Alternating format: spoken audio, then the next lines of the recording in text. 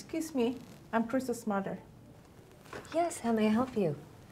I'm coming here for Crystal. Who should I speak with? I'm her teacher. You can talk with me. Please, have a seat. Can we start?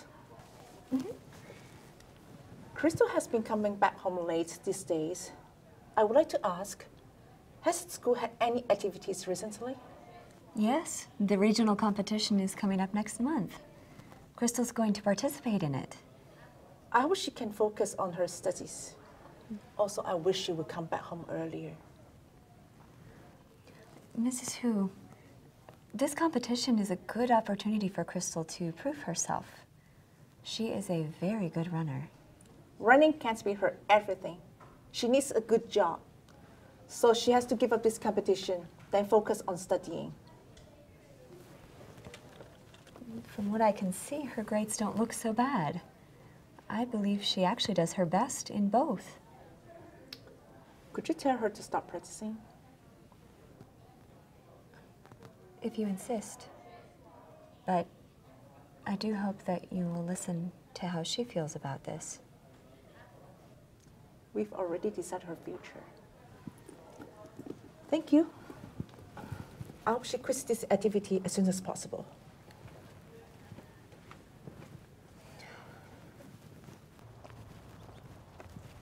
Hey, Mom.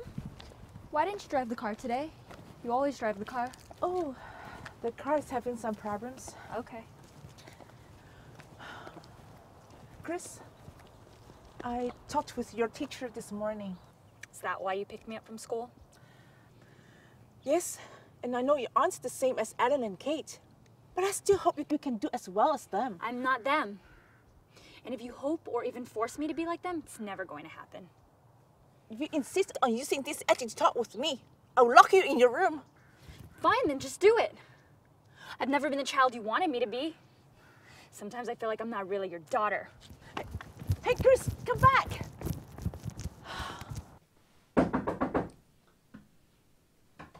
Whoever you are, I won't open the door. What? You fought with mom again. It's none of your business. Hey, I can help you study. I can help you too. My problem isn't just, just about studying. You can't help me. And I don't need your help. Just get out of my room. Uh, I know what your problem is. It's because you're stupid, huh? What are you talking about, Alan? Get out of the room. Okay, I was just kidding. Don't be so serious. Chris, if, if you have any questions, just let me know. You know, we are sisters.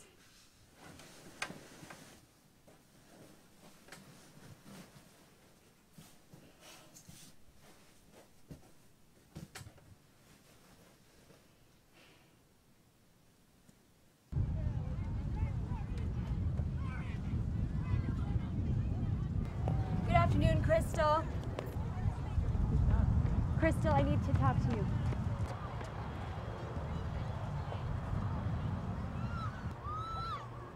I talked with your mother.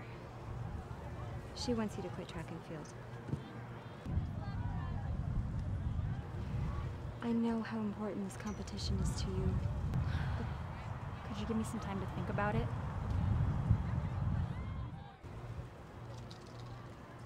Crystal, I truly believe in you.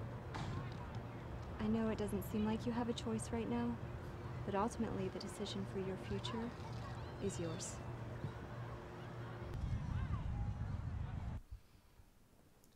Should we talk with the children about it? Mm-mm. Not now. They should not have to worry about this. I don't think they can hide this for a long time. Don't worry. This will get better. I talked with Chris yesterday. Oh? Really? Jennifer, we had a consensus. Don't force her too much. She has her own life. You don't understand. Kate and Ellen can do well with their studying, but Chris just can't. She just wants to do something different, and that would destroy her life. We tried to force her to study hard, but she obviously can't be like them. If she does something that she likes, she can still prove herself to us. No. I'm still thinking that's the way we chose for her is the best. I hope she can understand. I'm doing this for her because I'm really worried about her. I really do. If she can't do well studying, we probably just tell her to find a job instead of college. That way she won't waste her time. Jennifer, we can care for her, but we can't tell her not to go to college. She's young. She deserves to have a college life.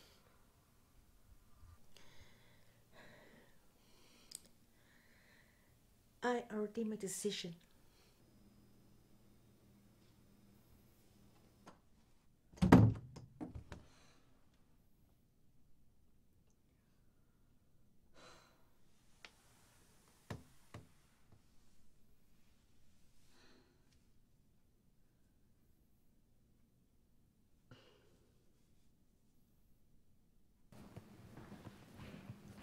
Do you know what time it is? Why did you come back so late again? Mom, I just. Stop! I don't care about what you're doing. Why can't you just be like Kate and Alan? Mom, stop. Crystal, if you were half as smart as them, I would be so happy. Mom, that's unfair. Whenever Kate or Alan come back this late, you never blame them. Do you know how I feel? Do you want to know why I came back late? Could you just calm down and listen to me for a little bit?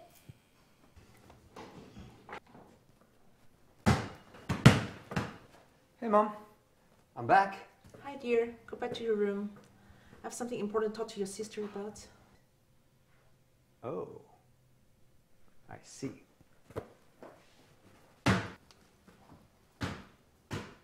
Mom,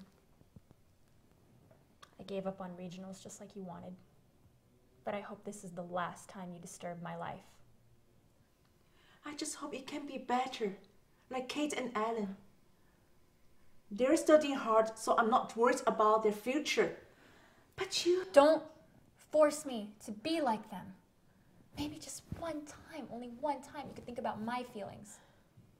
Maybe I'm not perfect, but I'm trying to find a way to keep going. You don't need to find a way, because I already chose a way for you. You just need to study hard and then find a good job. Mom, this is my life, not yours.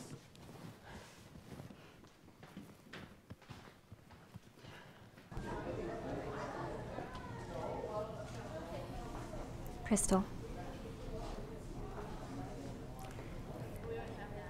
I know you had to give up the competition, but you have another opportunity to build your future. I recommended you for the track and field scholarship. Really? Wow. Yeah, I think you can keep running in college.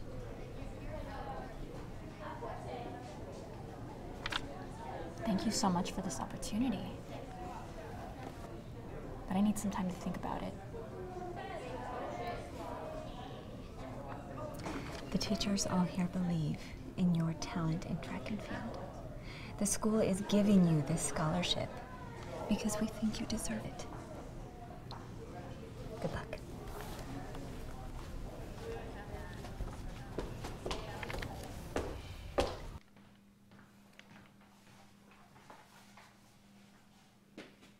Hey, Mom.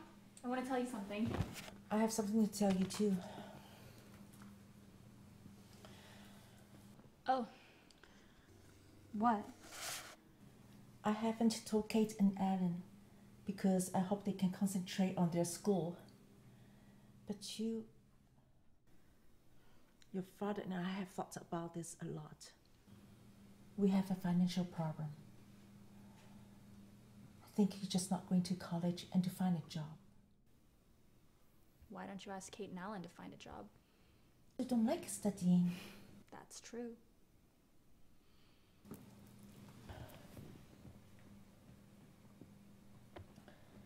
So, what you want to tell me? Um, I forgot. Let me think about it and tell you later.